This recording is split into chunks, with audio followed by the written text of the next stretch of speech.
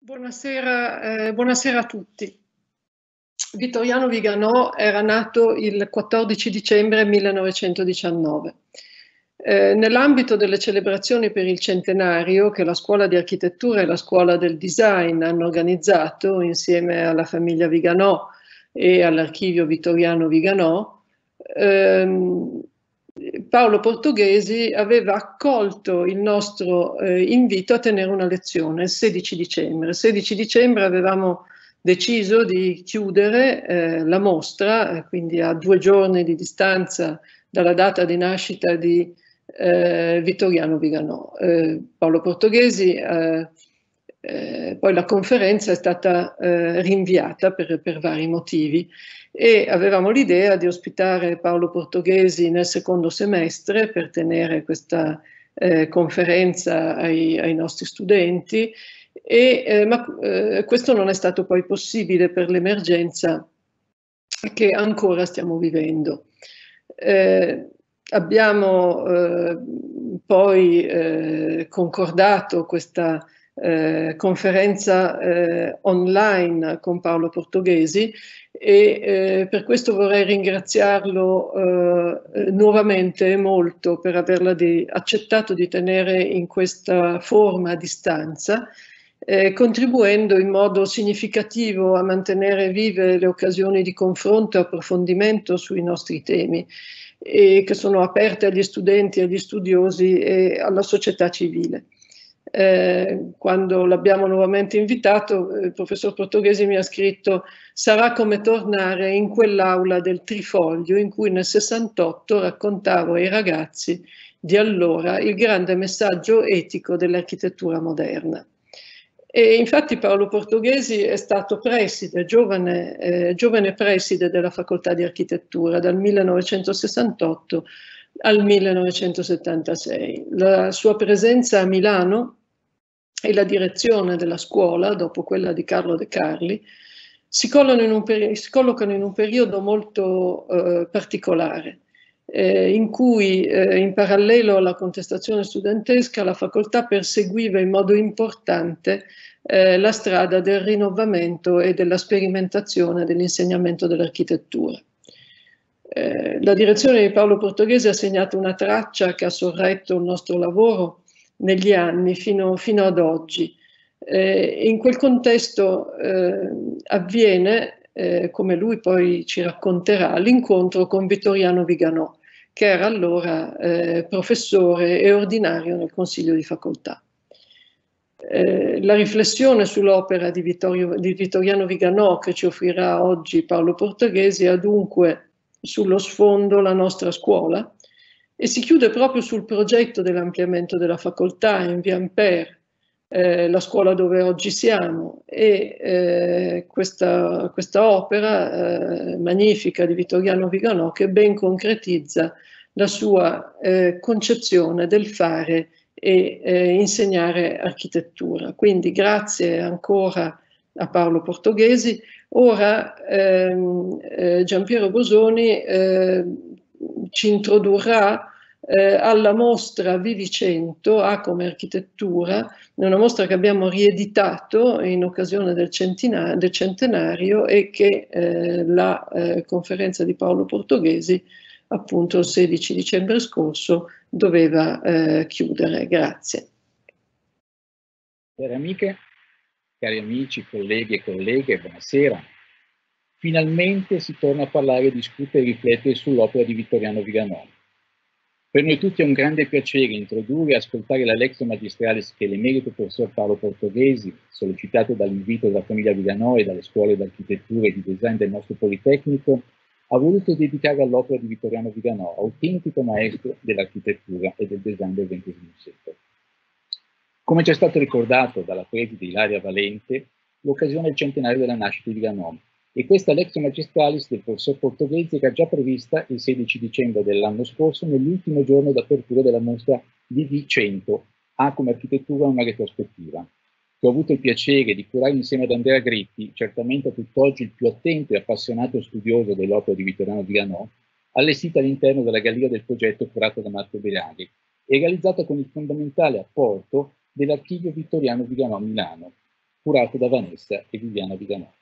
Ma per alcuni inconvenienti la conferenza del professor Portoghesi non si poté tenere e quindi venne rinviata a data da destinarsi, prevista per i primi mesi di quest'anno.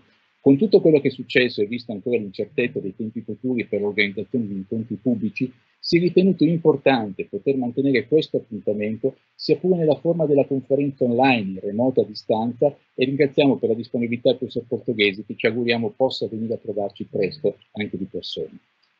Prendo solo due minuti per ricordare la mostra dell'anno scorso, facendo scorrere anche alcune immagini realizzate dal collega e stimato fotografo Federico Brunetti e spiegare che per entrare nel periodo del centenario si decise di iniziare questo anno di studi e ricerche sull'opera di Viganò con una retrospettiva generale, fondata da una parte su un originale riallestimento appositamente concepito per valorizzare lo spazio mostra ideato da Vittoriano Viganò, della mostra A come architettura, da lui stesso ideata nel 1991 e curata mirabilmente nel taglio critico da Sergio Crotti coadiuvato da Ernesto D'Alfonso e Franco Infusi, con la partecipazione all'allestimento di Achille Castiglioni, assistito da un giovanissimo Cino Zucchi e di Bob Norda per la grafica.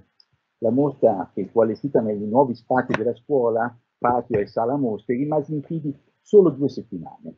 E rispetto a questa filologica sezione storica, eh, della mostra eh, storica affiancare una scelta di nuovi progetti, pressoché inediti, non presenti nella mostra storica, esposti con un repertorio di fotografie e documenti originali, spesso rielaborati personalmente da Vittoriano Viganò.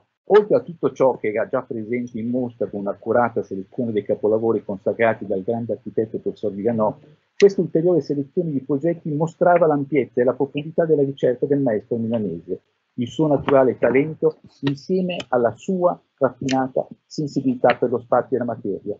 Lo hanno portato a sperimentare in maniera coraggiosa e stimolante, con un precoce autentico spirito d'avanguardia che lo ha sempre contraddistinto, temi senza tempo e oggi sempre attuali, quali la natura psicologica degli spazi, la relazione degli spazi abitati e delle strutture che li definiscono con il senso contemporaneo del paesaggio e della natura, la funzione sociale ed etica degli spazi pubblici, quali, suo, quali luoghi di incontro di una società civile e partecipe. Il disegno degli oggetti funzionali come aggettivi in grado di far vibrare gli spazi interni dell'abitare. La consapevolezza dell'architettura come dimensione dello spirito, prima che come immanenza fisica, in continua mutazione capace di accogliere i caratteri e le espressioni del tempo che cambia. Queste altre cose ancora da studiare e approfondire sull'opera di Janot intendiamo affrontare in un prossimo convegno, giornata di studi che si sta organizzando entro la fine dell'anno con la conclusione del centenario. Crediamo fermamente che l'opera, purtroppo in parte dimenticata di Vittoriano Viganò, debba essere ricollocata al centro della grande storia dell'architettura e del design del Novecento e che la sua ricerca sia oggi più che mai fonte di riflessioni per il progetto contemporaneo. Lascio quindi la parola al maestro Paolo Portoghesi che dall'alto della sua rinomata esperienza e cultura di storico dell'architettura, oltre che d'architetto, può offrirci un'intensa lettura dell'essenza progettuale dell'opera del maestro Vittoriano Viganò, peraltro suo grande amico e sodale a partire da quegli anni 60-70, intensi e appassionati in cui i portoghesi, come già stato ricordato, insigne presi della scuola d'architettura del nostro Politecnico. Con piacere, ora lascio la parola a Paolo Portoghesi. Cari amici, l'occasione di celebrare insieme a voi i cento anni dalla nascita di Vittoriano Viganò mi è particolarmente gradita non solo per il legame di sincera amicizia che ci ha unito, ma per l'ammirazione che ho sempre avuto per la sua architettura e per il suo coraggio di mantenersi fedele a un ideale di architettura come impegno etico. Azzeramento, ricominciamento o rifondazione divengono speranza e ragioni di vita. Questo è quello che lui dichiarava ai suoi allievi. Può sembrare strano che sia io a celebrarlo, che ho sempre sostenuto quello che lui rifiutava, riportare la modernità nel grembo della storia, ma non è affatto strano a ben vedere che chi ha scelto la storia come disciplina e l'ascolto come poetica non solo accetti la differenza come un valore, ma sappia riconoscere la qualità estetica senza pregiudizi dove effettivamente si trova. Rispetto alla storia dell'architettura moderna italiana, le prime generazioni di architetti hanno forti differenze che permettono di individuarle nella loro identità, sia per quello che le unisce, sia per quello che le divide. La prima in assoluto è quella dei maestri che hanno combattuto in prima persona la battaglia per la modernità, tutti nati, a parte Ponti e Michelucci, nei primi sei anni del Novecento, da Terragni a Libera, da Albini a Rogers, da Moretti a Ridolfi. La seconda generazione alla quale appartiene Viganò è quella di Ettore Sozzas, di Giancarlo De Carlo, di Vico Magistretti, di Marco Zanuso, di Leonardo Rucci, di Bruno Zevi, nati tutti intorno al 1920. La terza, infine, alla quale appartengo è quella dei nati intorno al 1930, la generazione di Gabetti, di Gregotti, di Aldo Rossi, di Carlo Aimonnino, di Guido Canella. La mia generazione trovo negli architetti della prima generazione, Gardella, Ridolfi, Moretti, degli interlocutori e quasi dei compagni di strada nella ricerca, dopo l'esperienza radicale delle avanguardie e del razionalismo, di una riappropriazione dell'eredità storica. Con la generazione di mezzo il colloquio fu ostacolato dalla loro convinzione che la tradizione del nuovo potesse la tradizione senza aggettivi e che il valore etico del linguaggio fosse un valore non negoziabile. Vittoriano, nonostante la mitezza del suo carattere, è stato il più rigoroso e radicale dei suoi coetanei. Non ha accettato compromessi sul piano del linguaggio e la sua architettura trae alimento fino all'ultimo proprio da questo rifiuto. Quando arrivai a Milano nel 67 per ricoprire la cattedra di storia dell'architettura, incuriosito della mia diversità, Vittoriano mi accolse fraternamente e mi fece da guida nell'esplorazione del clima sociale milanese di allora, così diverso da quello romano in cui mi ero formato. Sapevo bene, tuttavia, che proprio da Milano erano arrivati a Roma Borromini e Caravaggio per imprimere una cultura romana, alla cultura romana un nuovo corso rivoluzionario. E conoscere Milano con Vittoriano come Virgilio fu un grande arricchimento è una chiave per capire meglio qualcosa anche della mia città. Fu anche l'occasione per un colloquio aperto a tutto campo tra diversi che cercavano di capirsi e soprattutto di capire il senso delle loro differenze, ma anche delle cose che amavano in comune. Era un momento difficile. Gli studenti della facoltà già da qualche anno erano insorti contro la cultura attribuendone l'esclusivo possesso a un'unica classe sociale, la borghesia, che odiavano pur facendone parte quasi tutti. Noi professori cercavamo di sottrarre la cultura a questa ipoteca e di individuare nella modernità l'alternativa al conformismo e alla soggezione al potere. Su questo punto trovammo faticosamente un accordo e sperimentammo una didattica basata sulla ricerca progettuale, in un'ottica pluridisciplinare. Una volta rimanemmo fino a tarda, a tarda notte nell'aula del Consiglio, quella che vedete in questa fotografia, in cui Vittoriano è ben identificabile sulla sinistra, vicino a Guido Canella, eh, semi nascosto da Guido Canella c'è Carlo De Carli che è stato preside prima di me ed è stato l'animatore della sperimentazione.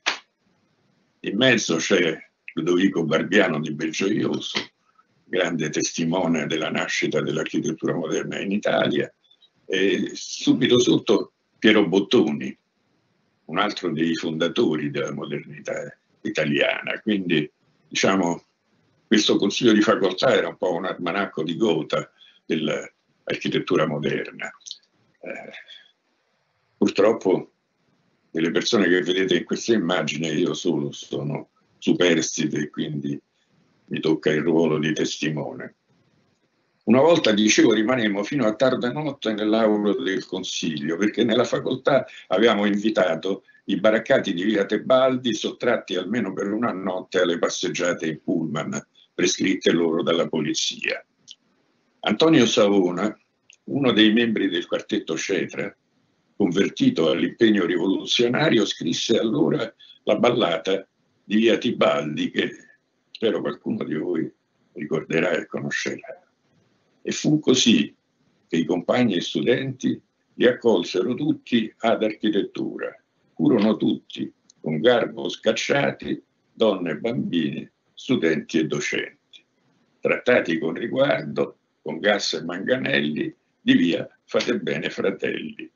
E viva l'Italia, l'Italia dei santi, dei grandi poeti e dei naviganti. Aver fatto quel gesto di solidarietà costò a tutti noi, membri del Consiglio, ad eccezione del matematico Pasotti, una denuncia all'autorità giudiziaria e tre anni di sospensione dall'insegnamento, con la riduzione dello stipendio a un modesto assegno alimentare. Con Vittoriano, la notte dei baraccati, discutevamo sul valore di ripartire dalla tabula rasa, come suggeriva Husserl, e sui modi di interpretare, di interpretare l'epoca husserliana. È, essendo riusciti a trovare un accordo, mi ricordo che tirai fuori un registratore ricco di cinque altoparlanti e misi a suonare una cassetta con il concerto per violino di Beethoven suonato da Jascha Heifetz. A un certo punto avevamo tutti e due le lacrime agli occhi perché nella fiducia nell'arte come un disvelarsi della verità, avevamo ritrovato un naturale e solido terreno comune. Non potendo per ragioni di tempo descrivere tutto il lavoro dell'architetto, mi limiterò a parlare da una parte dei capolavori degli anni 50, dall'altra invece farò parlare Vittoriano attraverso gli scritti, nei quali confessa le proprie predilezioni e ragiona anche lucidamente sul proprio destino. Concluderò parlando dell'edificio in cui si trova attualmente la facoltà d'architettura, che è certamente l'ultimo dei suoi capolavori.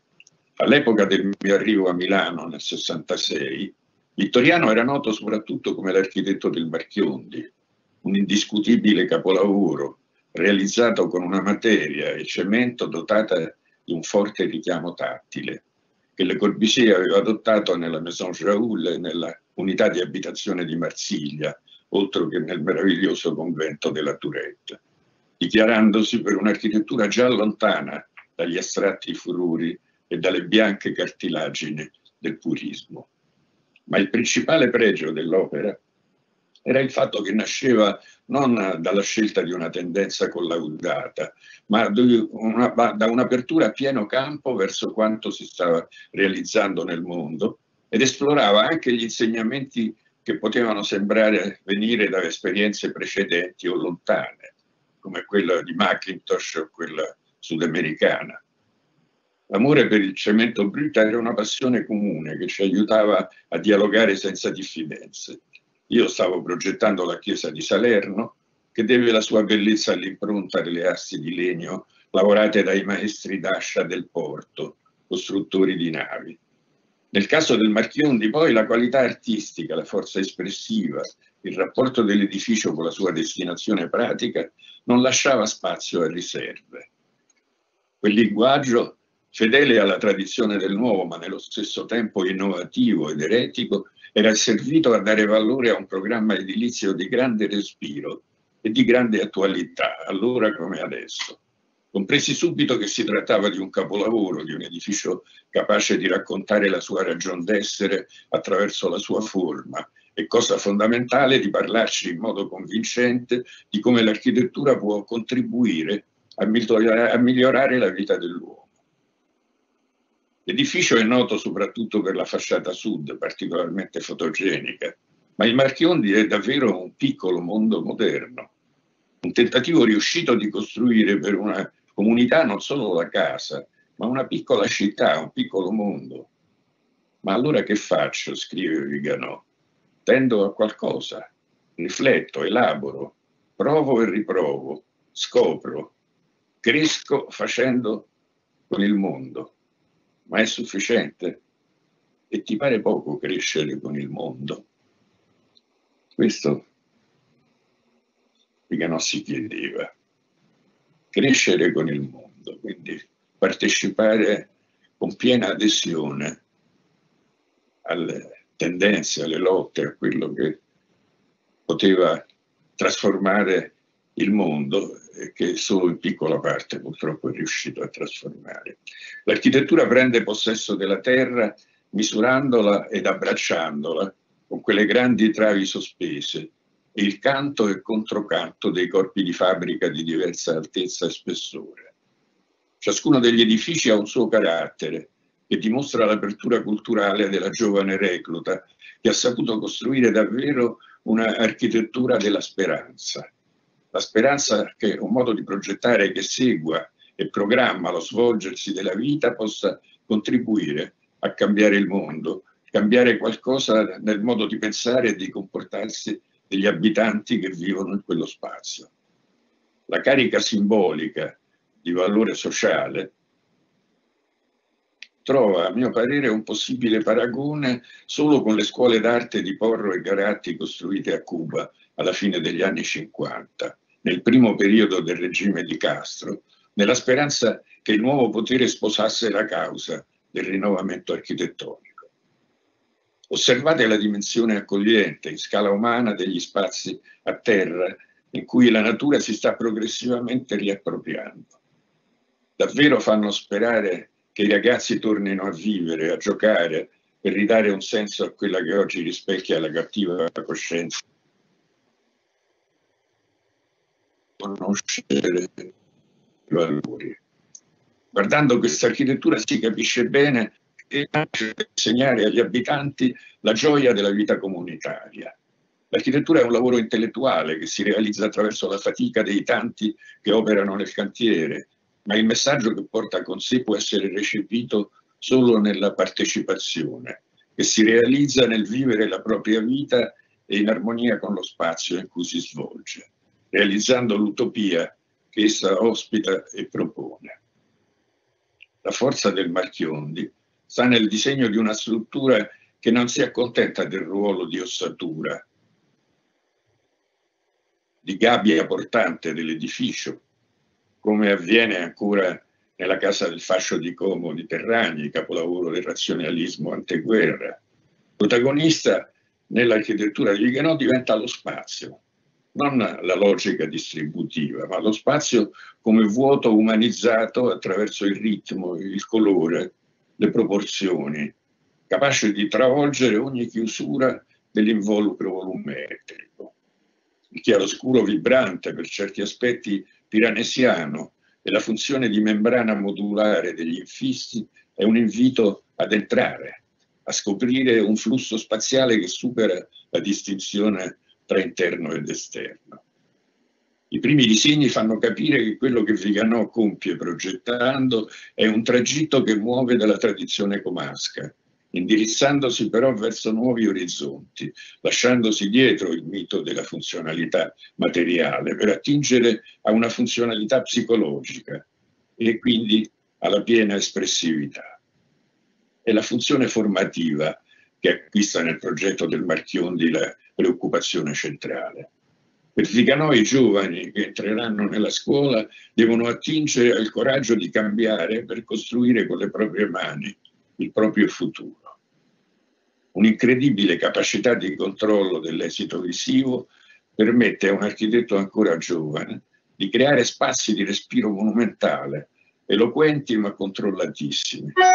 Quei travoni orizzontali che fendono lo spazio estendendosi oltre ogni limite prevedibile, quei pilastri che incontrano le travi mantenendo la loro identità verticale, quelle travi che si sporgono oltre l'appoggio e l'incastro con i pilastri non sono più gli elementi di una gabbia ortogonale, ma elementi che si proiettano nello spazio esaltando la propria autonomia, la propria libertà. Dove ha trovato Vittoriano il coraggio per costruire con tanto furor inventivo? non certo dall'insegnamento di Nervi che si è sempre mantenuto nell'alveo di una controllata classicità e nemmeno Terragni che pure ha servito per l'intreccio tra spazio e struttura aveva mai raggiunto né forse poteva nel clima degli anni 30 un analogo slancio liberatorio. Nel 1953 Bruno Zevi aveva pubblicato a Milano un libro sulla poetica dell'architettura neoplastica un libro che fece esplodere in Italia una moda alla quale era difficile sottrarsi. Viganò se ne servì, ma in un'ottica propria, elaborando una sintassi basata sulla logica formale, con suggestioni diverse e meno frigide di quelle del neoclassicismo olandese. A parte l'omaggio consapevole alle Corbusier, nel Marchiondi si può individuare il libero ricorso a suggestioni provenienti dalla storia, da Leonardo da Vinci, per esempio, chiamato in causa per la forma dello scalone, a Macintosh, di cui abbiamo già visto alcune analogie con gli edifici di Glasgow, soprattutto per il giunto dinamico tra trave e pilastro, la membrana a maglia quadrata degli infissi e il gusto della trasparenza. Van Duisburg, l'eroe del racconto zeviano, aveva fatto scoppiare con le sue lezioni un conflitto intellettuale tra gli allievi del Bauhaus, con l'esito imprevedibile di un colpo di pistola. Dal neoplasticismo deriva nel Marchiondi il principio dello slittamento dei piani ortogonali, immancabile nei progetti di Van Duisburg, ma la forza di Viganò sta nella corporeità che conferisce a questi piani e nel sapiente uso del controluce per ottenere effetti di chiaroscuro e persino di sfumato leonardesco. Una grande novità del Marchiondi sta anche nello studio psicologico che ne ha condizionato il modello distributivo. In realtà all'epoca in cui venne costruito edifici del genere si chiamavano case di correzione e già l'abbandono di questa denominazione chiarisce l'intenzione innovatrice sia dell'architetto che dei suoi committenti, che si adoperarono in ogni modo per far sì che gli allievi della scuola si sentissero liberi di muoversi senza vincoli opprimenti. Lo stesso Vittoriano racconta che quando presero possesso del nuovo edificio, i ragazzi lo fecero in modo gioioso, come si partecipa a un'avventura, a una festa. Commentando l'opera sull'Espresso, Bruno Zevi scelse come al solito un titolo geniale. I ragazzi non scappano. L'attenzione per il contenuto è evidente anche nel commento alla sua opera dello stesso Vicanò. Il non chiudere il perimetro, ad esempio, al fine di eliminare l'atmosfera carceraria, fu un'intuizione del progettista al pari di quella di fare le camere intercomunicanti gli spazi privati per gli istitutori e tant'altro. Trovare uno spazio logico, in sostanza, fu il mio obiettivo. Uno spazio fruibile anzitutto dai ragazzi, non legati a modelli prefigurati o comunque superati e disposti quindi ad esprimerlo nella sua autenticità. Ciò non toglie che il chiaroscuro drammatico prodotto dagli sbalzi abbia un che di piranesiano, si avvicina in qualche modo all'atmosfera delle incisioni delle carceri, ma è anche vero che la continuità del chiaroscuro dall'interno all'esterno contrappone alla chiusura delle incisioni piranesiane un'apertura che ne rovescia il significato. Quello che era difficile prevedere allora era il comportamento nel tempo delle strutture di cemento a vista. Chiunque abbia usato quel materiale in quegli anni e ne so qualcosa, ha dovuto fare i conti poi con un difficilmente prevedibile processo di degrado, dovuto soprattutto ai copriferri posti troppo vicino alle superfici esterne e soggetti, assorbendo l'umidità delle piogge, allo sviluppo della rucine che produce gonfiandosi il distacco di cospicue scaglie cementizie. 60 anni di mancata manutenzione e di abbandono hanno fatto il resto che paradossalmente però non ha diminuito il prestigio estetico del Marchioni, che oggi può essere visitato come si vanno a visitare purtroppo le rovine di Pompei o di Angkor Wat in Cambogia.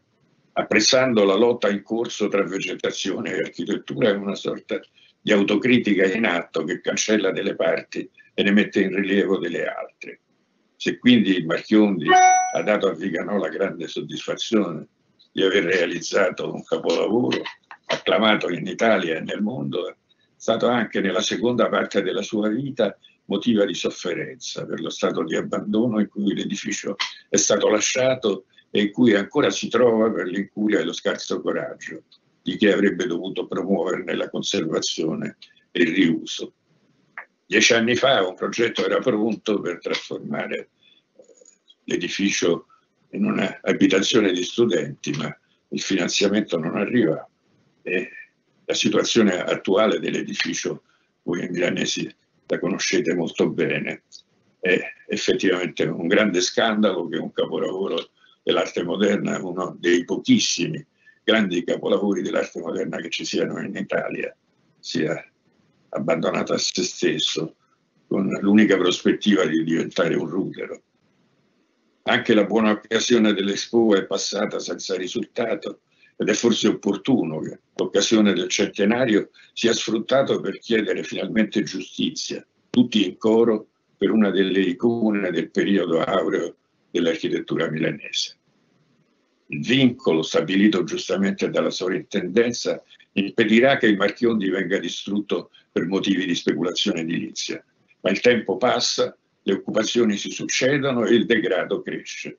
Vorrei che tutti gli architetti italiani si sentissero coinvolti in un salvataggio e sarebbe anche un doveroso gesto di solidarietà verso un uomo che ha dedicato la sua vita alla buona architettura. Il Marchiondi è importante anche per i fraintendimenti creati da Rainer Benham, introducendolo appena costruito in una categoria quella del brutalismo, che solo in parte ne spiega la consistenza. Una corrente creata da un gruppo di giovani iconoclasti inglesi, nata in polemica con le testi di Pelsner, che aveva indicato nel suo celebre libro una linea di sviluppo dell'architettura moderna che partiva da Morris. James Stirling, simpatizzando allora, allora del New Brutalism, affermava polemicamente e ironicamente siamo onesti, William Morris era uno svedese, riferendosi probabilmente all'empirismo della corrente scandinava. I giovani iconoclasti erano guidati da Allison e Peter Smithson, il secondo dei quali era soprannominato Brutus fin dall'adolescenza, tanto da giustificare la fantasiosa etimologia proposta da Architectural Design Brut Alice M. Rainer Benham cavalcò il brutalismo facendone un'arma contundente contro le deviazioni romantiche, inaugurando una specie di moralismo giudiziario, di cui fu vittima tra le prime anche Rogers, che aveva pubblicato nel numero 215 di Casabella la bottega di Erasmo di Gabetti e Isola. Rispondendo a Banham, Rogers lo accusò a sua volta di essere il custode dei frigoriferi. A Banham fece molto comodo inserire nella categoria del new brutalism il Marchiondi, perché era un edificio veramente innovativo, assai più delle opere degli Smithson, e in esso la componente etica non era velleitaria, ma autentica e chiaramente motivata dalla destinazione dell'edificio cosa ci sia di brutale in un edificio come il Marchiondi, pieno di raffinatezze espressive, di attenzioni psicologiche, di intenzionalità didattica, non è mai stato chiaro. Oltretutto il cemento del Marchiondi non punta tanto sulle superfici scabre delle cassaforme di legno quanto sulla superficie omogenea che si ottiene con le cassaforme metalliche. Il secondo capolavoro di Viganò è senza dubbio la villa di André Bloch, la casa di un grande scultore che dirigeva in quegli anni la più popolare delle riviste di architettura, Architecture d'aujourd'hui, ed aveva lui stesso fatto degli esperimenti di spazi scultorei, scavati come caverne. La risposta di Viganò è invece un'esaltazione degli strumenti che l'architettura offre per ottenere risultati che possono avere anche un'analogia con le sculture di Bloch. Eh, la scelta fatta da Bloch per Vittoriano era molto lusinghiera, veniva da un conoscitore, da un grande artista, sensibile, che avrebbe potuto scegliere qualunque altro architetto, anche meno giovane e più famoso, e sapeva però di rivolgersi a una persona di grande cultura, adatta a stabilire un rapporto intenso tra architettura e paesaggio, contrapponendo all'immagine del lago quella di una piattaforma flottante, apparentemente sottratta alla forza di gravità. Se nel Marchiondi Viganò aveva saputo utilizzare l'eredità di Terrani e di Le Corbusier, nella Villa Bloch si apre a suggestioni che provengono dall'America, Neutra, Schindler ed anche Frank Lloyd Wright.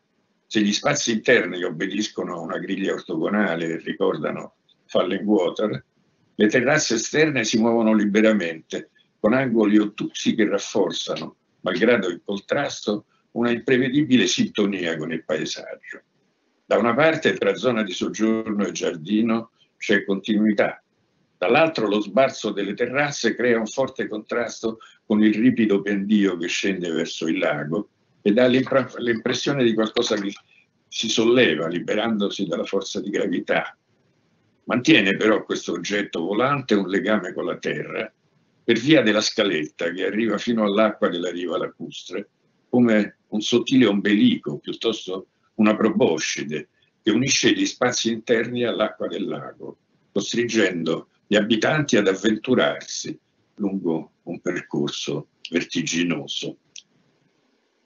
Leonardo Ricci, un coetaneo molto sensibile al rapporto architettura-paesaggio, definisce la casa e la scala che le ha dato il nome uno spazio metafisico contemplativo. Sembra che il lago sia entrato dentro la casa e la casa nel lago, nonostante che siano congiunti appena da una lunga scalinata da via Crucis che ti obbliga alla sosta e a una forma di preghiera. Questo diceva Leonardo Ricci interpretando un carattere poetico che questa scaletta ha reso più ricco di connotazioni con il passare del tempo attraverso questa affinità, questa analogia con l'immagine naturale. Nella veduta dal lago questa scala sembra quasi un fulmine che attraversa e unisce architettura e natura.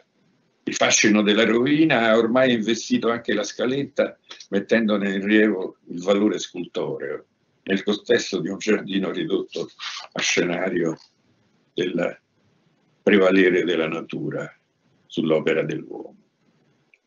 Un altro aspetto che consente di avvicinare Viganò a Wright è quello di aver passato gran parte della propria vita in un capolavoro. Taliesin per l'architetto americano e il piccolo appartamento in via Crivelli per Viganò. Che senso ha, mi chiederete, paragonare la gigantesca residenza di Wright con un appartamento di un centinaio di metri quadri. Il senso è anche un appartamento urbano. Può raggiungere la qualità spaziale di un'opera senza tempo, che continuerà, ce lo auguriamo, a comunicare per chi lo abiterà o lo visiterà in futuro il suo valore di simbolo eloquente di uno stile di vita sobrio e gentile, che celebra la semplicità della vita quotidiana come può essere vissuta da un intellettuale che ama l'eleganza e l'austerità. Vittoriano ci ha lasciato uno schizzo che assume, riassume il suo lavoro di progressiva riorganizzazione di questo spazio definito, quello che avete visto poc'anzi, è un, un, uno schizo che rivela il carattere dinamico della spazialità. E questa riorganizzazione, la prima mossa è l'individuazione di quello che Leon Battista Alberti definiva il cuore della casa, un soggiorno con un grande camino al centro e delle aree funzionali disposte a formare una specie di vortice. Le pareti che delimitano lo spazio hanno altezza diversa, alcune arrivano al soffitto, altre rimangono a mezza altezza. Chi entra viene colpito da una serie di finestre e piani luminosi che emergono da un'atmosfera di ombra diffusa, perché pavimento, soffitto e parte delle pareti sono dipinte in nero. Ne deriva una spazialità dinamica, trasfigurata però dal carattere soffice, caldo e riposante dell'ombra. L'effetto imprevedibile di intimità è realizzato con mezzi di estrema semplicità. Anzitutto la tricromia nero, bianco, rosso e poi la presenza dei libri, di un mobile antico, il preciso ruolo assegnato alla pittura. A proposito di pittura, Vittoriano considerava la sua casa così sporca e ipotetica, così seicentesca e chiaroscurata, così ruvida e così eccitata dal rosso e dal nero, così offerta ma anche così ritratta, così immersa nelle cose e nel tempo. Una descrizione poetica che, a parte la sporcizia, chiunque abbia frequentato la casa può sottoscrivere e che dimostra l'abilità di Vittoriano come critico di se stesso, la qualifica di seicentesca, per esempio, incuriosisce, ma si spiega subito pensando alla pittura e soprattutto a quella di un altro grande lombardo, Michelangelo da Caravaggio, per il quale il rosso e il nero sono armi infallibili. In effetti, nella casa le fonti luminose ricevono dal nero buio di molte pareti una forza che consente alla vista la individuazione di bersagli scelti e ben studiati. Capolavoro effimero, invece, ormai fruibile solo attraverso la memoria e le superstiti fotografie, la torre di tubolari innocenti pensata per i festeggiamenti natalizi del 1961. Qui Vittoriano rende un appassionato omaggio a suo padre, lo scultore Vico, che aveva proposto la costruzione in pietra di una torre che dotasse finalmente la cattedrale milanese dell'agognato campanile.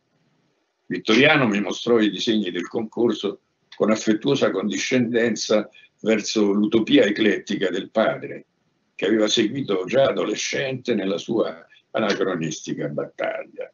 La proposta fu lodata da Mussolini, ma poi insabbiata per via del suo atteggiamento ondivago, che appoggiava alternativamente modernità e tradizionalismo.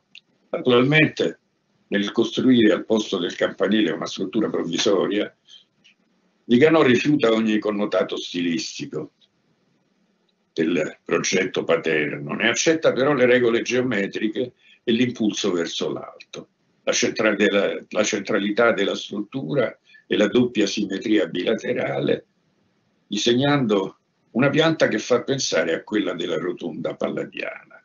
È la materia costruttiva, i tubolari innocenti, che trasformano il volume in un fascio trasparente di linee verticali. La trasparenza, dosata con grande sensibilità, consente di sviluppare in pieno il potenziale gotico dell'immagine. Il ricordo della passione che il padre aveva messo nel proporre la torre campanaria spinge Vittoriano a rivivere la stessa vicenda con un linguaggio diversissimo, ma nonostante ciò fortemente evocativo, come testimoniano i quattro torricini che si disegnano come guglie sull'azzurro del cielo. La verticalità, invocata dallo spazio della piazza e dalla facciata del Duomo, si materializza attraverso la leggerezza di una struttura che ha tutti i caratteri del non finito michelangiolesco. E in questo senso prefigura la problematicità caratteristica dei due ultimi decenni dell'attività progettuale dell'architetto. Prima di parlare dell'ultimo capolavoro, l'edificio della facoltà di architettura, vorrei dare spazio al pensiero di Vittoriano, come ce lo ha comunicato attraverso i suoi scritti, che sono pochi ma molto significativi e sono anche in gran parte legati alla sua attività didattica. L'eredità che il maestro vuole lasciare ai suoi studenti non è quella delle certezze legate alla continuità del movimento moderno, che pure hanno ispirato tutta la sua opera, ma piuttosto quello che afferma la necessità del dubbio, della sperimentazione, della ricerca, della diffidenza nei confronti delle ideologie. Ricordo che per entrambi aveva un grande valore la poesia di Bertolt Brecht, ma di ogni dubbio il più bello è quando coloro che sono senza fede, senza forza, levano il capo e alla forza degli oppressori non credono più. Tu che sei una guida, non dimenticare che tale sei, perché hai dubitato delle guide. E dunque chi è guidato, a chi è guidato, permetti il dubbio.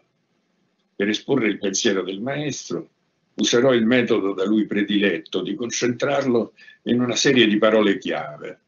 Le parole in questo caso sono amore, eteronomia, intorno, linguaggio, rimozione. A come amore. Per Viganò il sentimentalismo è agli antipodi del suo modo di essere e di progettare. L'essenziale è arrivare al silenzio, al rigore, ma quando ci si è arrivati ecco che talvolta c'è posto anche per un attimo di abbandono. Al fondo delle cose, ha scritto in architettura di vita, c'è sempre l'amore. Vecchi per amore teorizza, idealizza, avvolge in un abbraccio, in sostanza rassicura, ma insieme a parte, astrae, esclude. è chi per amore vive la vita, presuppone in sostanza la vitalità e la forma della interlocuzione. L'interlocuzione come evento e per contrasto e per gioco, per compiacimento in mezzo al mondo che diviene. Una dichiarazione questa che esprime una grande capacità introspettiva e quel suo cogliere le cose per differenza contrapponendo stati d'animo, ma forse in questa pagina si può leggere anche il rimpianto di non essere stato meno rettilineo, meno armato a difendere una fragilità che pure continuamente riappare. Ed è paradossalmente la sua forza. Rossi e Viganò sono passati alla storia come opposti, eppure c'è anche qualche punto di convergenza in cui intravedo un segno della comune origine lombarda, quella di misurarsi con la vita in presa diretta. Rossi parla della calda vita della quale l'architettura non deve condizionare la libertà. Vittoriano parla di questo amore per la vita che si concreta nella interlocuzione, che è poi la partecipazione. Entrambi rispondono negando l'affermazione di Lucas che giudica inattingibile una forma che serve la vita. All'amore vittoriano, in omaggio al dubbio, cede quando gli si offre la possibilità di realizzare il sogno di suo padre, costruendo davanti al Duomo. Abbiamo visto che in questo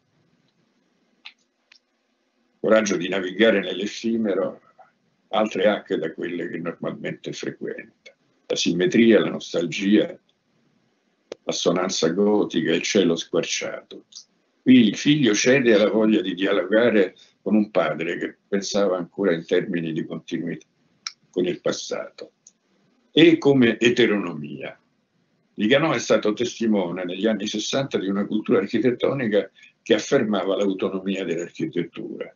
Non l'autonomia dal tempo e dalla società, ma l'autonomia del linguaggio che non deve essere contaminato da saperi estranei che possono solo deformarlo. Viganò non era assolutamente d'accordo. La sua posizione è descritta felicemente da Enzo Spaltre, illustre esponente della medicina del lavoro. Dall'architettura autonoma, che vede nello spazio fisico la variabile indipendente, all'architettura eteronoma, che vede nello spazio fisico la variabile dipendente dallo spazio psichico, origine e misura della fruibilità. Questo è il percorso di Viganò. La psicologia è in effetti uno strumento essenziale, al quale Viganò riconosce pianisticamente l'importanza didattica. Tanto più gli strumenti di cui dispone una disciplina come la nostra si fanno incidenti sulla realtà, scrive appunto Vittoriano, tanto più deve essere chiaro e assunto quel fine superiore o etico che potremmo definire dello sviluppo e della libertà dell'individuo. Io cerco così anche nella psicologia nuovi termini per rinnovare o comunque dilatare il mio campo di idee e quindi per pensare e verificare diversamente l'architettura. La psicologia è per me una di quelle discipline con cui l'architettura deve dialogare. Non è un generoso appello all'utilità del suo apporto sul tavolo da disegno, ma la constatazione di una necessità. A differenza di altre arti sostanzialmente astratte, aggiunge, Viganò, anziché materialmente utilitaria, l'architettura risulta del tutto condizionata dagli eventi e dal contesto di cui è parte. Un fenomeno questo che costituisce al tempo stesso una sua propria inibizione, ma anche la sua dinamica specificità, la sua inibizione se la natura del, del condizionamento è di basso livello, se la domanda o la scommessa non sono di per sé stampelle forti, la sua dinamica specificità se il condizionamento si chiama problematicità tra realtà contestuale e cultura del progetto. Un condizionamento che allo stesso tempo dolore e speranza, dolore e speranza, il dolore delle delusioni e la speranza di superarle. Chiunque sia impegnato nel nostro mestiere sa che spesso si passa dall'uno all'altro di questi sentimenti senza poterli allontanare. Il come interno, il come intorno, scusate. Intorno è una parola che Vittoriano usava con grande frequenza, rispecchiava la sua ansia di totalità, il suo istintivo rifiuto del limite e la volontà di darsi ragione delle forme e delle pieghe che il paesaggio, anche quello urbano, aveva assunto nel tempo. Nella sua eteronomia l'architettura è chiamata a proteggere e configurare l'ambiente e a stabilire un confronto tra l'identità del luogo e le trasformazioni programmate. La sensibilità di Viganò per l'ambiente è già viva quando collabora con Pietro Porcinai al progetto del parco. E il Parco Sempione, destinato a diventare una delle tragedie della sua vita, è l'alternanza di divieti e permessi che gli hanno consentito di realizzare solo in piccolissima parte un progetto ambizioso che avrebbe dato alla città un nuovo cuore, un cuore verde, con la vocazione ad espandersi e di attirare verso di sé la città. Ogni nuova occasione di intervento nel paesaggio è per Viganò un modo per arricchire metodologicamente la sua visione ambientalistica originale, che diviene nella fase finale della sua attività l'aspetto più importante della sua partecipazione al dibattito disciplinare. Se nel Marchiondi il problema è quello di cancellare l'immagine stereotipata del prato di periferia sostituendo con il piccolo mondo moderno, se ancora nella villa sul lago il problema è quello di sottrarre l'architettura al dominio del paesaggio e le opere successive la ricerca è quella di un equilibrio in scala territoriale che si sottragga ai limiti dell'area assegnata e coinvolga ogni possibile intorno, esplorando la potenzialità di un rapporto.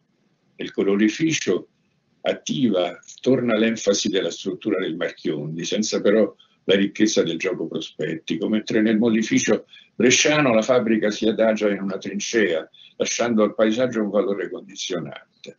La delicatezza dei ritmi strutturali si orienta verso una ricerca di griglie spaziali traslucide, di segni non finiti, a volte volutamente fragili, come incade la vigna, nel cui l'incompiutezza realizza una compenetrazione tra ambiente e architettura. Negli ultimi interventi a Salò culmina la sua capacità di dare un nuovo volto all'ambiente urbano, ora con il gesto netto del ponte di acciaio, ora con le tessiture vibranti della pavimentazione stradale della piazza Vittoria sul lungolago. La poetica del dubbio dà i suoi frutti in questo atteggiamento che cerca di influenzare psicologicamente percezioni, sensazioni e comportamenti e ci fa capire quanto ancora Vittoriano avrebbe potuto dare alla cultura architettonica italiana che adesso, con troppo ritardo, ha scoperto che il problema dell'ambiente, del clima e dell'inquinamento è diventato centrale per la sopravvivenza dell'umanità. L come linguaggio. Il linguaggio, cui è riservato il compito dell'espressione ultima, scrive Viganò, tridimensionale, quadridimensionale, per essere compresi e fruiti, non è cosa premeditata.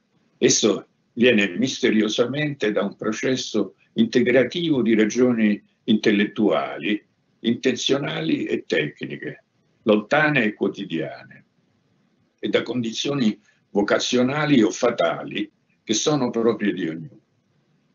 È uno stato di tensione di ragione, di immaginazione e di grazia che tende a farsi comunicazione ne nasce un messaggio, un segno che sono una verità o una teoria, che non sono una verità o una teoria garantista, ma semplicemente quello che ti riesce di fare per comunicare con te e con gli altri in nome di qualche cosa. È il metodo, potremmo dire, di un anarchico che diffida delle ideologie totalizzanti, ma vuole pur sempre comunicare in nome di qualcosa. Questo qualcosa non è meno concreto del fare e al fondo di ognuna delle sue opere c'è sempre una nobile intenzione. C'è un tipo di fede che non esige di essere definita, cristallizzata. È la fede dello scettico. Viene in mente una riflessione di Cardarelli. La speranza è nell'opera. Io sono un cinico a cui rimane questo al di là. Io sono un cinico che crede in quel che fa. Di questa religione del fare vittoriano era certamente un, crudele, un fedele. M come misura. La passione per il non finito e l'aspirazione anticlassica fanno di Vigano un nemico della simmetria bilaterale, quella per spiegarci tipica del corpo umano e delle automobili viste di fronte, ma in realtà nella sua architettura se diamo la simmetria il giusto significato matematico come operazione che muove e trasforma un determinato oggetto geometrico lasciandone invariato l'aspetto, Vigano si rivela non un nemico ma un raffinato sperimentatore di simmetrie specialmente traslatorie e rotatorie. La ripetizione poi ha un ruolo fondamentale nel suo linguaggio personale. La speranza, diceva Kierkegaard, era un vestito nuovo fiammante, tutto liscio e inamodato, ma non le si è mai portato, per cui non si sa come starà e come cascherà. È un vestito smesso, che per quanto bello non va più perché non entra più. La ripetizione è un vestito indistruttibile, che calza giusto e dolcemente senza stringere né ballare addosso. Come negare che la ripetizione in mano a Viganò diventi sostanza poetica? Lo diventa attraverso il gioco intrecciato di rinvii che discende dalla complessità di un linguaggio che ha bisogno, per esprimersi di piani prospettici paralleli ed ortogonali rispetto all'osservatore, diversificati per orientamento, dimensione, colore, che contrapponendosi formano un sintagma che la ripetizione e la traslazione esalta e trasfigura. Quando mi è capitato di fare piccolo, ha scritto Viganò, ho cercato di caricarlo il più possibile di generale. Quando è avvenuto il contrario, ho cercato di recuperare il piccolo e questo è un discorso che faccio volentieri. L'aver imparato a disegnare anche le cose piccole, a capire lo spazio nell'entità più infinitesima, è un'ottima arma quando si passa a una scelta più grande. Infatti il grande è una storia di tanti piccoli assemblati che sembrano tanti fuochi da cui può sprigionare un messaggio. Se devo dare un'indicazione per la lettura di ciò che ho fatto, direi se guardi una cosa grande stai attenti a come le piccole vi stanno dentro, se viceversa guardi una cosa piccola stai attento a come essa vive in un suo spazio più grande, in un intorno più grande. R come rimozione. La bellezza dell'architettura, scritto Viganò, è che essa consente a suo proprio riguardo infinite definizioni, dalla sfrazione via via fino alla sua propria negazione, che è sempre latente, ma che diviene addirittura puntuale quando è caduta di certezza. Per cui azzeramento, ricominciamento, rifondazione, come suol dirsi, diventano speranza o ragione di vita. E qui l'architetto ci parla della sua visione filosofica. C'è la tradizione del nuovo, che implica una fedeltà, ma la piena fiducia nella continuità di questa tradizione sarebbe una forzatura. Ecco allora che ricominciare da capo diventa speranza e ragione di vita. Vittoriano era molto amico di Enzo Paci e conosceva suo tramite il pensiero di Husserl. Sapeva cosa significa l'epoché fenomenologica un'espressione tipica dello scetticismo greco che vuol dire sospensione del giudizio.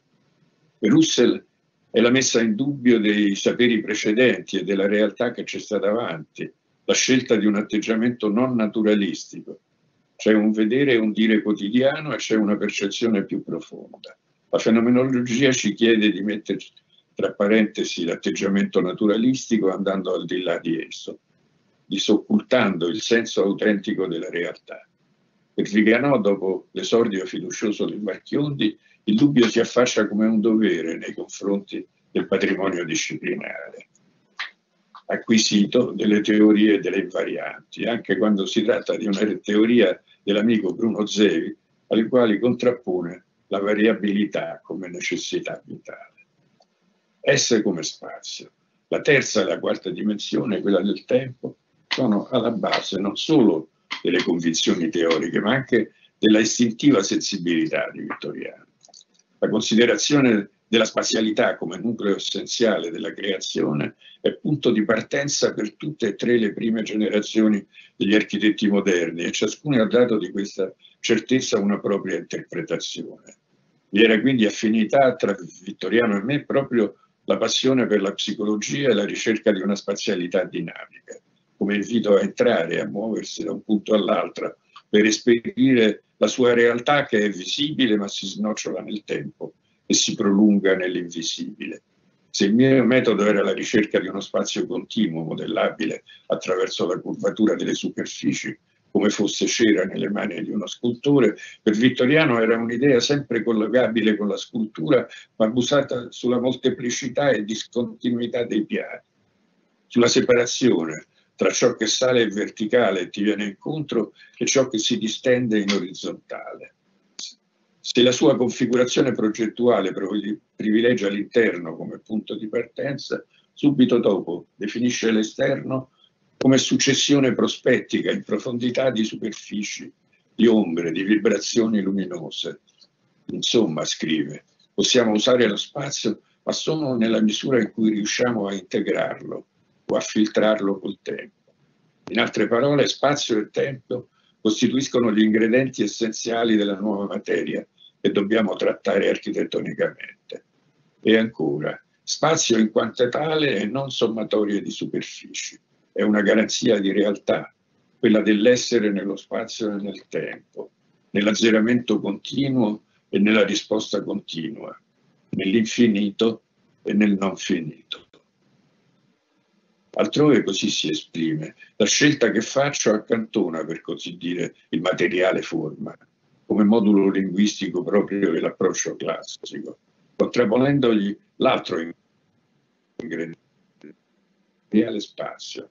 E ciò per un che mi pare chiaro, la proprietà che gli è proprio di non concludersi o rappresentarsi più di ogni altro è qualcosa che meglio può corrispondere a quel rapporto vissuto architettura e a quell'architettura come eteronomia fermando per così dire l'architettura a uno stadio aperto, a un non finito, siamo di fronte a una consapevole identificazione di quanto è in noi di a priori, espressione di un individuale mistero, quelle preferenze istintive, quelle tensioni che si possono rimuovere solo con una sorta di consapevole tradimento.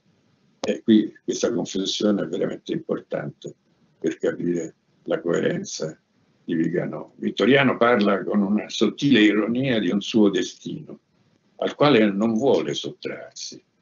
Io forse sono portato per temperamento a un vissuto più sperimentale, più movimentato che persuasivo. Mi trovo più a mio agio nel non finito. Gardella è un maestro del finito. Quando si va verso il finito come lui, il rosa e la testa di moro sono quasi un destino. Se vuoi sapere perché io faccio il rosso e il nero, rispondo che il tuo rosa è il mio nero e il mio nero è il tuo marrone. In altri termini, il mio destino. L'ultimo capolavoro con cui concluderemo questa memoria è la facoltà di architettura del Politecnico. In questo edificio in cui mi sento responsabile anch'io perché quando il Consiglio di facoltà doveva scegliere l'architetto da segnalare al rettore per completare la facoltà, quell'insieme disordinato di corpi di fabbrica che costituiva allora la facoltà di architettura, fui tra i più decisi a puntare su Viganò, che come più degli altri aveva vissuto intensamente le contraddizioni di una scuola in fiamme, che pure aveva trovato nella sperimentazione un momento di difficile convergenza.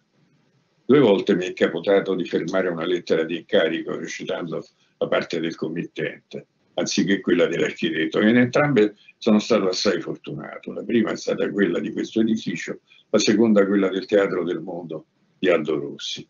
Ero sicuro che Vittoriano avrebbe assolto il suo compito con l'impegno e il rigore che aveva dimostrato in tante occasioni e soprattutto che sarebbe stato capace, progettando, di dar conto con l'architettura di quella storia difficile che avevamo vissuto insieme. Sapevo, sapevo che avrebbe creato un nuovo Marchiondi, un edificio esemplare, problematico, aperto, pensato per l'incontro e per la ricerca, uno specchio di quella sperimentazione in principio autorizzata dal Ministero e poi sconfessata dopo l'episodio dei baraccati, portandoci in pullman, in pullman nella sede della questura di via Fate Bene Fratelli, denunciandoci anche all'autorità giudiziaria che ci ha assolte poi tutti per merito del giudice Alessandrino, Alessandrini, che fu poi ucciso dalle Brigate Rosse. Non escludo che anche Vittoriano cercasse di fare qualcosa di simile al Marchiondi, ma non fu così, proprio perché l'amarezza della sperimentazione trancata non consentiva lo stesso ottimismo. Gli anni 70 erano ben diversi dagli anni 50, quando l'Italia si era risollevata dal disastro della guerra, una energia sorprendente e con ideali fortemente condivisi. Questo edificio in realtà è rispetto al Marchiondi come un figlio che ha sperimentato il dolore e la delusione. Molti elementi si, si somigliano, ma sono adoperati in modo diverso e l'effetto complessivo è assai più drammatico.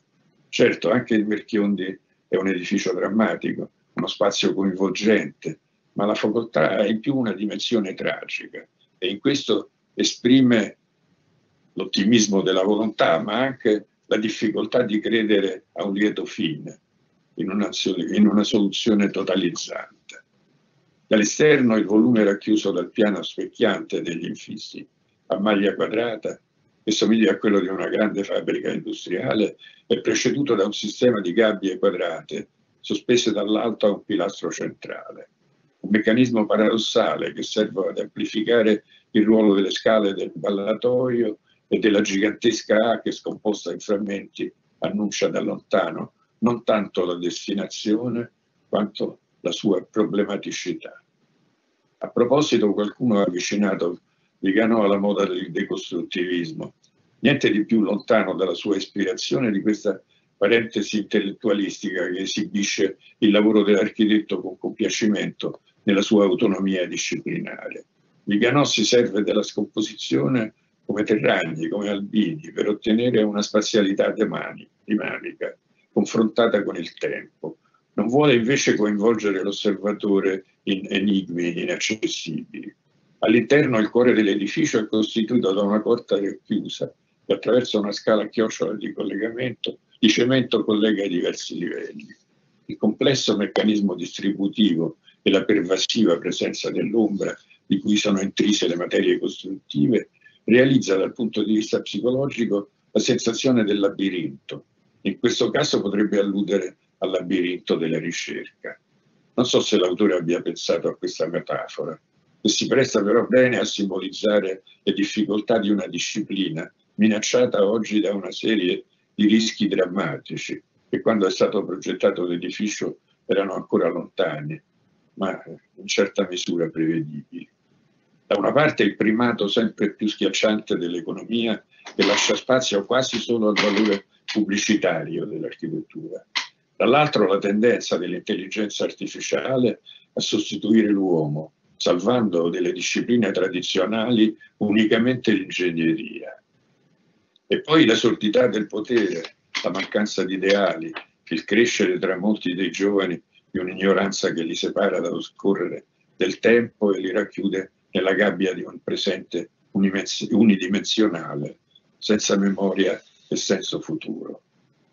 Parlo di labirinto nel senso metaforico della ricerca e mi riferisco a quello che dice Socrate nel dialogo platonico di Eutidemo. Caduti allora come in un labirinto, mentre credevamo di essere ormai alla fine, risultò che eravamo ritornati come all'inizio della ricerca, e avevamo bisogno della stessa cosa che ci occorreva quando avevamo cominciato a cercare. Questo contenuto tragico non è però il solo che può essere attribuito all'edificio nel cercare di comprenderlo.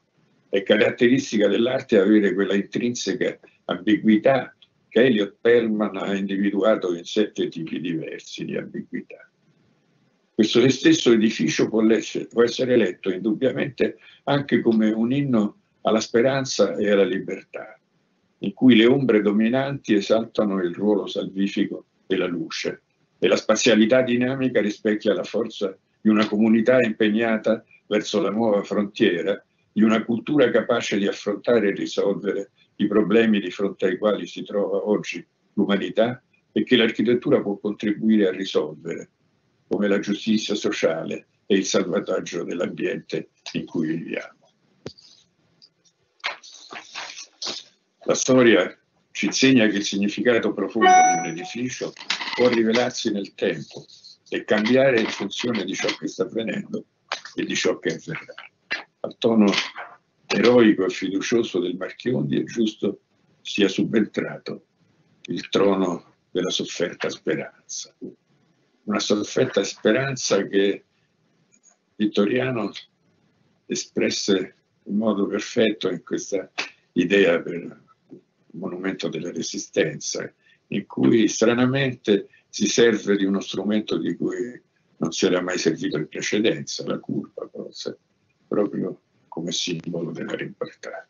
Purtroppo questo edificio non è stato realizzato, ma lo suo schizzo è così forte, così diciamo incisivo, eh, da rimanere nella memoria e di associarsi alla speranza che l'architettura possa tornare ad essere un valido strumento per migliorare la vita degli uomini.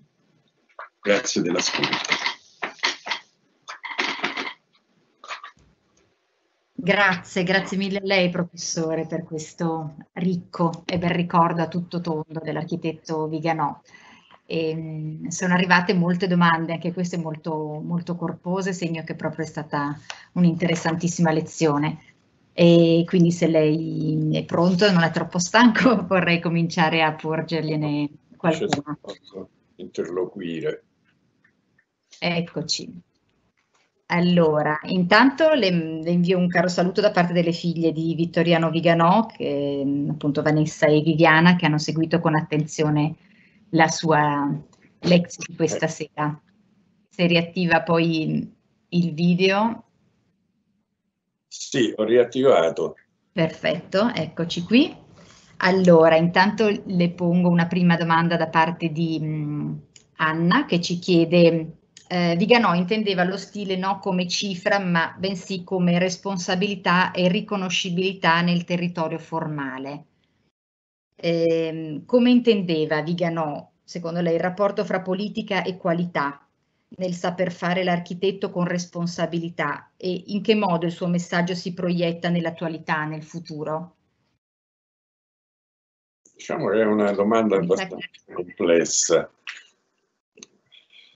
diciamo, adesso la Viganò ha sempre diffidato della politica, d'altra parte, eh, diciamo,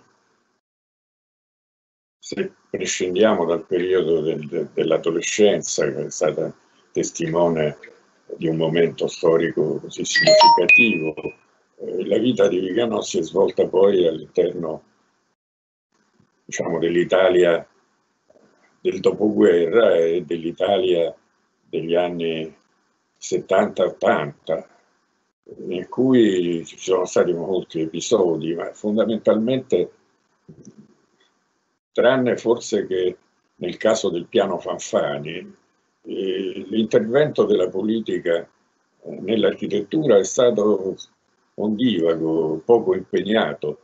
In fondo si accusava diciamo, il potere italiano di aver subito una specie di complesso nei confronti del regime precedente, siccome il fascismo aveva privilegiato l'architettura come mezzo di espressione e soprattutto come modo per essere ricordati nella storia, viceversa nel periodo che abbiamo vissuto del dopoguerra, l'architettura era vista come uno strumento secondario da non accreditare. Basta pensare se il centro dei servizi politici della città è stato realizzato nell'Eur, che era praticamente un, un, un frutto della cultura fascista, l'intuizione mussoliniana. Questo fa capire come appunto eh, tutta la generazione a cui Viganò apparteneva ha subito questa emarginazione dell'architettura rispetto alla, allo Stato e all'amministrazione del potere. Per quanto riguarda lo stile, eh, era una parola che allora si usava con molta diffidenza, perché diciamo, il compito che l'architettura moderna si era data era proprio quello di chiudere con gli stili e fare un'architettura che non avesse nulla a che fare con queste regole che caratterizzavano lo sviluppo degli stili. Poi naturalmente a distanza eh, di, di, di, diversi decenni possiamo dire che esiste anche uno stile modernista, uno stile postmoderno, ci sono tanti, eh, però il concetto di stile in effetti era in pieno conflitto con quel tipo di architettura che Viganò eh, ha pensato. Naturalmente lui aveva un, un, suo stile personale, dimostrato chiaramente dalla predilezione per i, i colori, il rosso e il nero per esempio. Tuttavia è diciamo, più che altro una scelta personale che ovviamente non voleva imporre, non voleva creare una corrente. Quindi diciamo, Enrico Viganò è stato un architetto coerente, eh, sposando l'individualismo in una forma però aperta agli ideali della società. Quindi eh, è un rappresentante dell'idealismo e del personalismo, se vogliamo, però con una grandissima sensibilità verso la società e questo lo ha dimostrato anche appunto partecipando in pieno a quello che è stata la realtà della facoltà di architettura alla fine degli anni 60. Non si è mai allontanato, non si è mai sentito un distacco come altri hanno fatto, lui invece è stato un protagonista della ricerca condivisa dagli studenti. Grazie, grazie mille. E parlando del Marchiondi, lei ha toccato proprio un tasto delicato, un nervo scoperto per Milano e non solo. Quindi in tanti ci hanno scritto, appunto, non prova tristezza nel vedere l'istituto Marchiondi in totale stato di abbandono e addirittura è arrivato anche un appello da parte di Sara Banti, chiede professore si faccia lei promotore del salvataggio del Marchiondi, non rassegniamoci a veder crollare un'opera che ha la potenza di un Pompidou. Con la sua guida autorevole e il sostegno del Politecnico si potrebbero esplorare formule che coinvolgono uno o più imprenditori milanesi. Ce ne sono di sensibili e intelligenti che hanno già dato ottime prove di attenzione all'architettura. Far rivivere questo edificio straordinario sarebbe un segnale forte di resistenza milanese oltre che un dovuto omaggio a Viganò. Vuole aggiungere qualcosa? Sì, diciamo, non, non, non nascondo che eh, quando mi è stato chiesto di fare questa conferenza eh, ho subito pensato che eh, si doveva puntare soprattutto sul salvataggio di questa straordinaria opera d'arte, che ha un suo fascino romantico di rovina, ma che è veramente nostra responsabilità abbandonare a se stesso all'autodistruzione. Eh, diciamo, è quasi incomprensibile che una città così ricca di iniziative come Milano, che ha saputo rinnovarsi, eh, io direi anche troppo in tempi recenti, abbia dimenticato questa testimonianza del periodo aureo dell'architettura milanese, perché non dimentichiamo che in quel momento l'architettura milanese era guardata con grande interesse in tutto il mondo, mentre oggi si costruiscono a Milano soprattutto edifici di di architetti che vengono da lontano, che esprimono una loro visione personale sicuramente rispettabile, ma che eh, ovviamente non hanno quella ricchezza che viene dall'architettura che è nata eh, nel luogo dove l'architetto che l'ha fatta ha sempre vissuto e che quindi ha delle radici nella cultura locale. Ecco. Noi sappiamo benissimo l'importanza di tutto ciò che è mondiale nel nostro mondo. Abbiamo seguito la mondializzazione anche se in alcuni aspetti si è presentato come un fattore negativo, ma non dobbiamo negare invece il locale. Il locale e l'universale devono in qualche modo collegarsi tra loro. E io credo che Milano deve ricordare questa stagione meravigliosa in cui dagli anni 30 agli anni 50, 60 c'è stata veramente un'importanza centrale della ricerca della cultura milanese. Ci sono tanti maestri da ricordare, eh, Viganò è uno di quelli. E diciamo, quando si pensa a Viganò però non ci può non essere un senso di rimpianto nei confronti del fatto che la più bella delle sue opere è abbandonata, è abbandonata all'autodistruzione ed è anche eh, un'opera invece molto significativa, aperta verso un futuro che è ancora in gran parte da, da realizzare. Se pensate che in fondo era una casa di correzione, quindi una specie di carcere. Ecco, un carcere interpretato come ha saputo fare Viganò, come invece uno strumento di liberazione, è veramente qualcosa che arricchisce attraverso la, la cultura architettonica, la cultura in senso più ampio possibile. Ecco, quindi io mi auguro effettivamente che possa nascere, io per mio conto senz'altro dico che è una delle cose più importanti che Milano può fare in questo momento. Ha fatto tanti sforzi, è diventata una capitale ipermoderna, eh, non deve dimenticare il suo passato che è alla base anche della sua fioritura attuale, che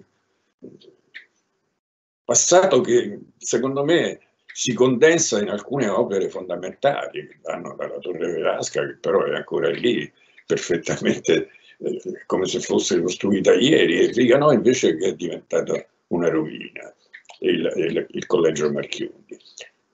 Ecco, io quindi penso che veramente uno sforzo si debba fare. Era stato fatto eh, dieci anni fa, era stato redatto un progetto dall'architetto Fortis, io ricordo che era un allievo di Aldo Rossi, eh, un progetto interessante che pensava di trasformarlo in residenza degli studenti creare un vero e proprio campus. Io penso che la destinazione universitaria sia una destinazione interessante. Certamente è un luogo, dove, è un luogo fatto per vivere, oltre che per diciamo, imparare attraverso uh, delle strutture didattiche. Un luogo fatto per vivere, quindi di cui bisogna riportare dentro la vita. E secondo me quella scioltezza di, eh, quella ricchezza di spazi fluenti che c'è all'interno eh, potrebbe essere proprio un richiamo verso una interpretazione dei valori architettonici eh, che è attuale nella sostanza anche se è lontana da quelle che sono le ricerche caratteristiche di questi anni. Speriamo veramente che... Capaci che cioè, è un fatto puramente occasionale, ma che questo questi cento anni di Viganò servano a qualcosa per salvare il Marchioni. Senta, invece poi c'è Gregorio che ci chiede mh, mm, qual era il peso dell'ideologia marxista presso i suoi colleghi di allora al Politecnico, il peso dell'antifascismo, della critica al capitalismo, le sue disuguaglianze e quale crede che sarà il futuro dell'architettura di fronte alla crescente critica nel mondo dinanzi ai fallimenti sociali, economici ed ecologici del capitalismo più espliciti che mai in questo periodo pandemico? Diciamo che la facoltà di architettura ha vissuto questo momento particolarmente intenso delle lotte studentesche, che erano diciamo, motivate dal desiderio dei giovani di cambiare il mondo e di renderlo più giusto, più equilibrato, meno caratterizzato dalle disuguaglianze. Ora noi sappiamo che da allora ad oggi le disuguaglianze sono ancora peggiorate.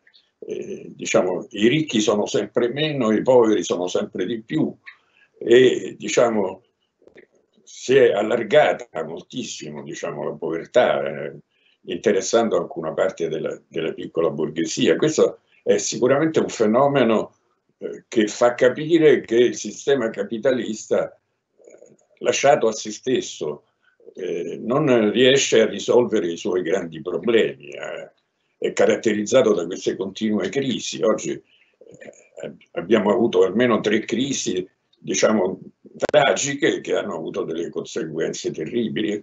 E, diciamo, tutto si collega, anche la questione del coronavirus che ha colpito soprattutto le regioni in cui c'è un, un inquinamento maggiore, ci fa capire che la logica con cui si sviluppa il sistema è una logica inumana e quindi bisogna avere il coraggio di combattere. Certamente eh, il socialismo ha avuto eh, come dire, un fallimento nel momento in cui si è trasformato in uno Stato, ma il fatto di considerare la battaglia eh, ormai vinta dal capitalismo fino alla fine della storia è un arrendersi a una realtà che non soddisfa nessuno.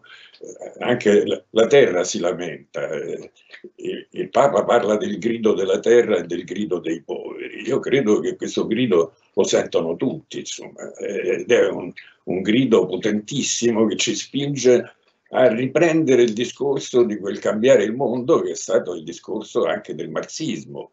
Il marxismo era un'interpretazione della storia che voleva accelerare quei processi che considerava positivi, i processi rivoluzionari. Ecco, noi oggi sappiamo che le rivoluzioni magari hanno un costo di vita umana troppo alto, che forse bisogna cercare dei sistemi diversi. Si parla per esempio della partecipazione, cioè dei gruppi dal basso che si rivolgono al potere costituito e riescono a trasformare le decisioni del potere questo è successo in tanti casi, è successo per esempio nell'America del Sud, quindi diciamo, secondo me eh, c'è ancora da sperare, diciamo. quindi la speranza che guidava Viganò, su cui ha scritto queste parole bellissime che io ho citato, è alla base dell'architettura del futuro. E, diciamo, i giovani che iniziano adesso il, il loro impegno devono sapere ereditare questa speranza che non deve essere una speranza contemplativa, ma una speranza attiva che si trasforma appunto in una volontà precisa di cambiare il mondo. Speriamo sì che questa speranza attivi, attivi anche tanti giovani, che questo grido potente della terra serva a cambiarci. Senta, poi invece Dirk ci chiede, mh, mm, questo tributo mi suggerisce una riflessione fra il ruolo di architetti di quel periodo come Viganò e Canella e quella che è stata l'evoluzione dell'altro periodo eroico del movimento moderno in Italia. Mi riferisco a quello di Terragni e dei razionalisti comaschi, un'architettura contemporaneamente spirito del suo tempo e preannuncio dei tempi che verranno, alla qualità e allo studio dei dettagli che accomunano queste architetture. Le chiedo cortesemente un piccolo approfondimento sul rapporto fra questi due periodi distanti nel tempo eppure simili. Beh, intanto c'è da dire che sono due periodi entrambi fioriti su questa terra lombarda eh, e comunque su questa terra padana. Effettivamente, diciamo, la trasformazione dell'architettura è stata voluta in modo particolare da architetti che hanno vissuto a Milano, a Torino, molto meno da architetti del resto dell'Italia. Certamente la, la, fioritura della scuola comasca, per esempio, è un, un fenomeno locale che interpreta il fascismo come una rivoluzione e quindi in pieno equivoco diciamo, realizza un'architettura rivoluzionaria che ovviamente ha poco a che fare con l'ideologia del fascismo, ma ha molto a che fare con la interpretazione del fascismo che Terragni dava, fino alla terribile delusione di quando è tornato dalla guerra in Russia, eh, che era un personaggio irriconoscibile. Quindi personaggi che hanno pagato con la loro vita, in un certo senso, le illusioni che si erano fatte, ma che comunque hanno avuto la soddisfazione di vedere la loro battaglia come una battaglia vincente. Ecco, naturalmente eh, tutto questo si è riproposto in modo molto vivace e intenso quando l'Italia è diventata una democrazia. E lì effettivamente Milano ha dato un grandissimo esempio, perché eh, ci sono stati i maestri della prima generazione che hanno continuato dandoci dei capolavori straordinari, eh, Gardella, Rogers, eh, Begioioso, sono tanti gli architetti che hanno contribuito a creare un'architettura urbana di grandissima qualità. E poi si è aggiunta invece la nuova generazione, la quale non si è accontentata in un certo senso di una qualità, ha voluto dire, una qualità che fosse anche indice di un rinnovamento profondo, rinnovamento delle coscienze, un rinnovamento psicologico.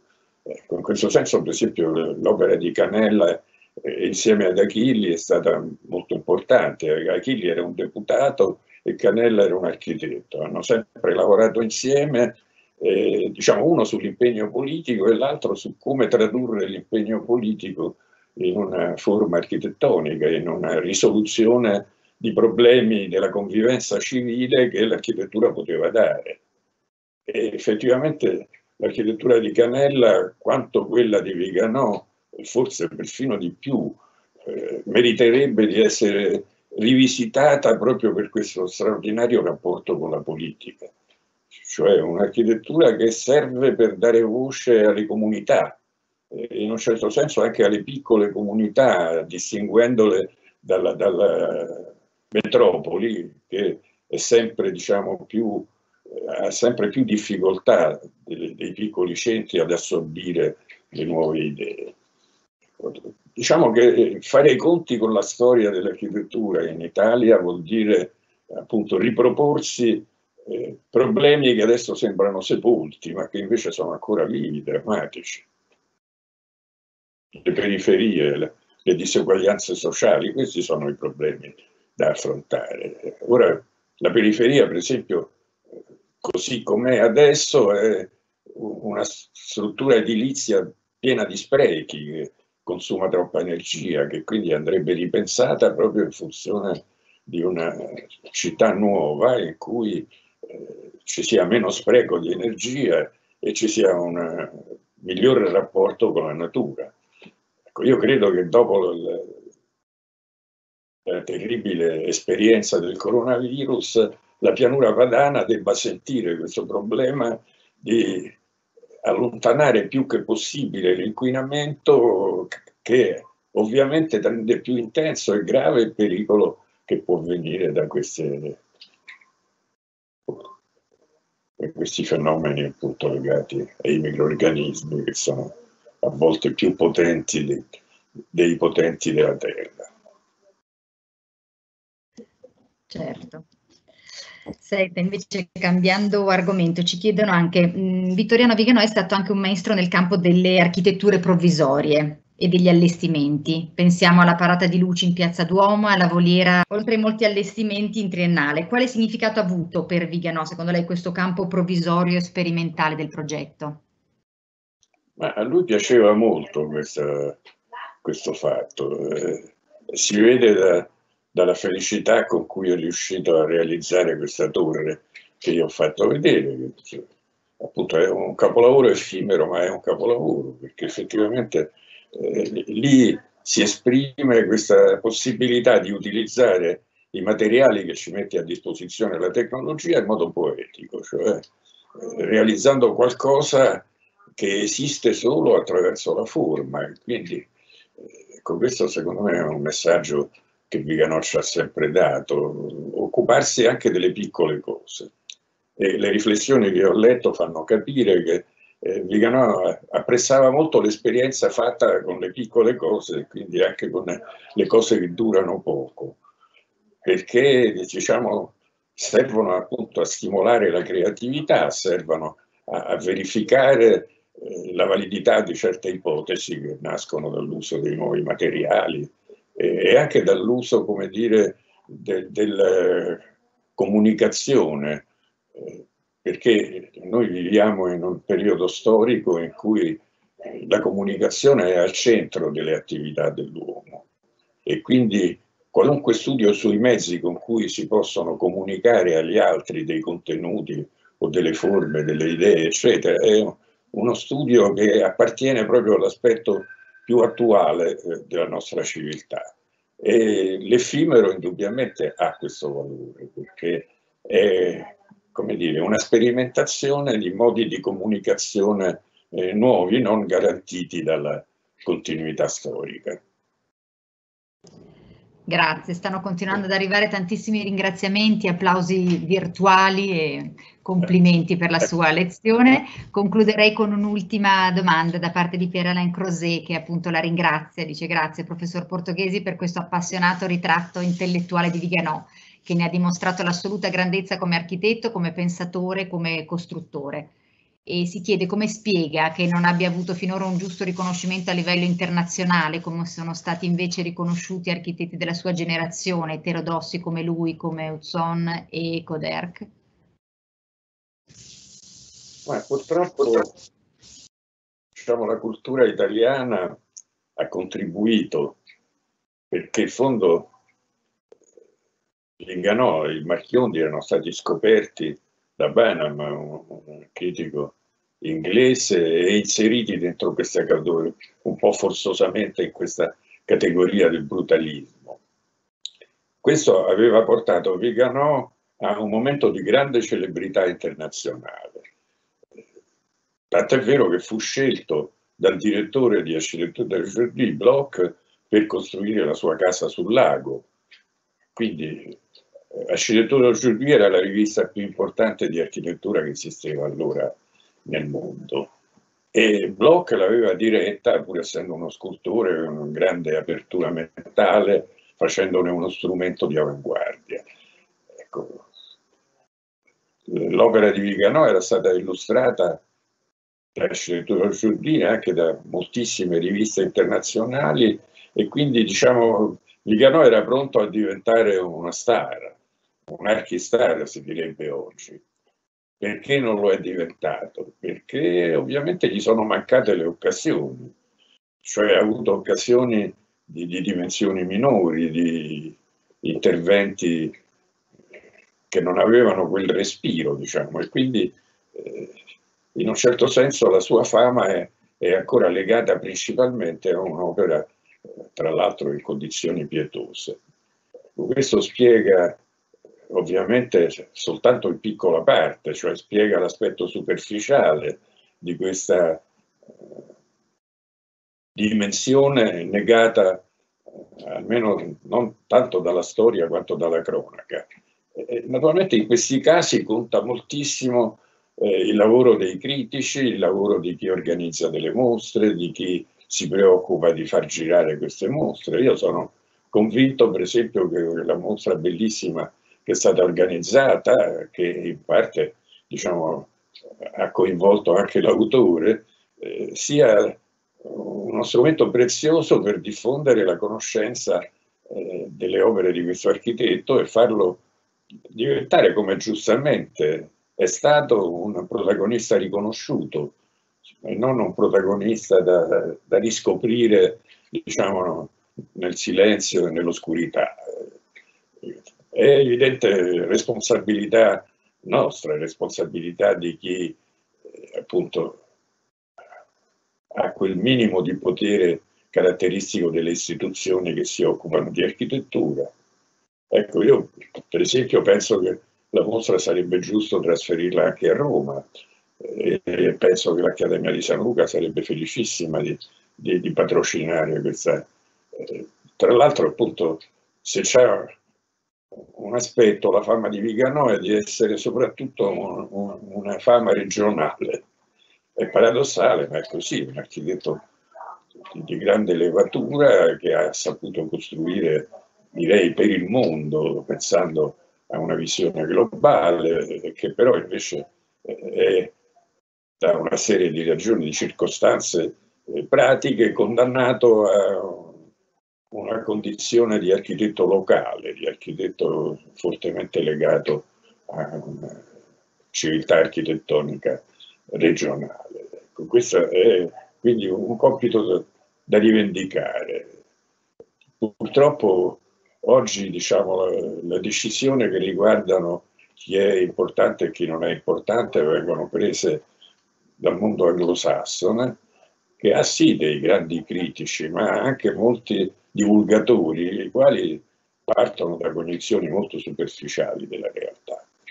Quindi diciamo che bisognerebbe combattere eh, con gli strumenti che ci offre la comunicazione internazionale, con iniziative che riescano a riequilibrare l'importanza dell'architettura moderna italiana nell'ambito della cultura internazionale, senza ovviamente fare del nazionalismo che sarebbe fuori caso, assolutamente fuori tempo, ma diciamo rivendicando eh, il rapporto dell'architettura con il luogo, questo rapporto che è fondamentale in grandissimi, moltissimi capolavori dell'architettura di tutti i tempi e che è un, un elemento da rivendicare, cioè l'architettura deve sì essere internazionale, globale, quanto vi pare, ma deve avere le sue radici.